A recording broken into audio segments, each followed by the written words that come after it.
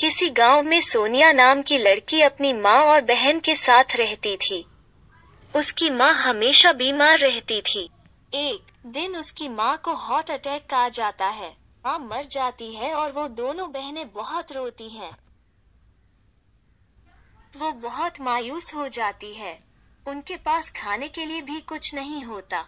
एक दिन सोनिया सोच रही होती है कि घर पर गुजारा कैसे करे तो उसकी माँ आती है। उसकी माँ ने उसको एक फ्रॉक दी। वो फ्रॉक जादुई थी। किसी भी चीज़ की ज़रूरत होती तो सोनिया फ्रॉक से मांग लेती। अब सुनैना और सुनैना की बहन खुशी खुशी रहने लगे और उनको भर पेट खाना भी मिलने लगा।